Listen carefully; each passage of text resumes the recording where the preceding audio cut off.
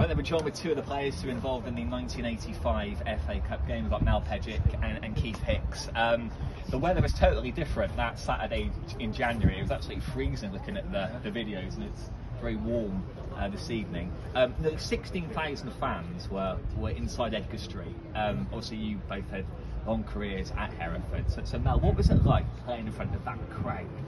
I think the day itself, we, we was buzzing. We, I think we had we went to Saxty's for a pre-match meal, which you don't normally do. We walked through town, and obviously the town was buzzing. You know, we turned up here, and obviously, you know, the stadiums before they had, a, they had the sort of stand that was sort of erected down the side there. So it's just just amazing, great great experience for for us lads. You know, and, and you know, played at the sort of level that we were at at that time to play Arsenal at the time.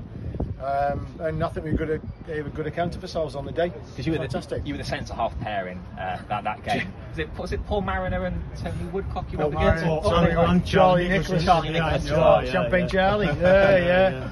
So it was a bit of a duo to sort of contend with there. And I think Tony Woodcock slammed on from about 25 yards into the top corner, didn't he? Is that your fault? No, it's Kev's. oh, Kev. right, okay. Rosie. Rosie should have caught it. I thought, I thought you were marking it, to be honest. I thought you were marking I was marking Paul Mariner. It might be wrong. No, yeah, no, no. Uh, Keith, what do you remember from the goal from, from Chris Price equalising after yeah, it was just Woodcock scored? Typical Price, he wasn't it? He was just like always up there. He was, he was meant to be a right back, but he spent most of his time on right side of the midfield or right wing or whatever. But my recommend, uh, recollection from that day is that we were warming up and we could see them with the studs on, they were all over the place. You could tell they didn't want to come, they didn't want to come in on that day and play against us. And we'd all worn like the normal shoes, the uh, the simple shoes, and we were okay. We could see them in the one, like falling over, slipping the hot cash, and we thought, yeah, they don't want to be here today, so we'll give it them. Mm. To, to, be fair to me, I think we should have won that game. Yeah. We should we should have definitely won that game. Uh, if we'd scored it last minute like we should have, we'd have been like the new heroes, the new Newcastle heroes. So, you know, we had to put up with that for a long time, didn't we? Newcastle this, Newcastle that.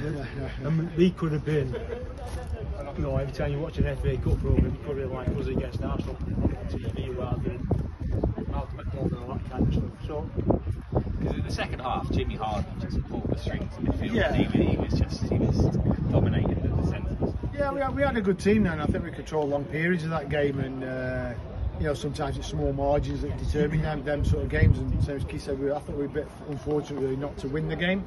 But then, you know, you have to do it, don't you? You have to sort of take opportunities when they come along. So, yeah, we, it was a great day, great experience. Uh, just a pity we didn't do what we, we should have done. And how does it feel to be back?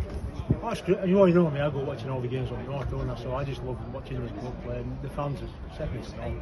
I mean, we've only watched here about, what, 10, 15 minutes. Mm. We've been approached about three or four times already. Yeah. You know, like, in, obviously we're looking a bit different than what we did like 30 odd years ago, but he's still, he's still come over and talk. It's, it's really good. My thing on Jimmy Harvey was he, he got released from Arsenal, didn't he? Yeah. And he came here from Arsenal. He was probably little bit. He's probably thinking, I could have shown Yeah we were like normal, we were like a team game, Jimmy was like, I'm Jimmy Hart. well, yeah, we should have won the game, but